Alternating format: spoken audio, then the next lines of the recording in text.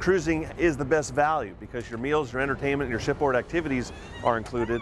And included sounds good when you're a family on a budget and planning a vacation. If you've never been on a cruise, it may sound a bit intimidating. Which ship do you choose? How do you get to the port? And what do you pack? And of course, no one wants to ruin memories of their vacation, so here are five tips for smooth sailing. Stewart Chiron with CruiseGuy.com says it's best to research online, but don't book online. Let a travel agent do that for you. They're usually aware of discounts you may not know about. Then book as early as you can. Because the best cabins are usually the first ones to go. And on a lot of ships, when you're talking about, say, Royal Caribbean's Allure or Oasis of the Seas, the two largest ships in the world, the top seven categories are sold out for almost the next two years. Next idea join loyalty programs. You may receive discounts on tickets, room upgrades, even priority boarding.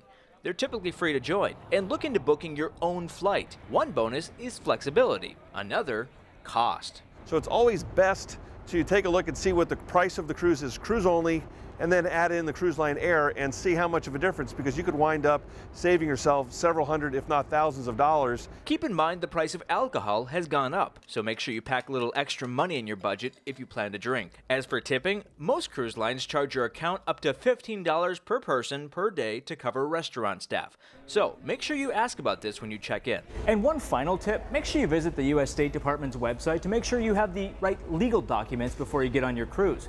No papers, no cruise. Want to know exactly what you need? Come on over to MoneyTalksNews.com and we'll hook you up. I'm Jim Robinson.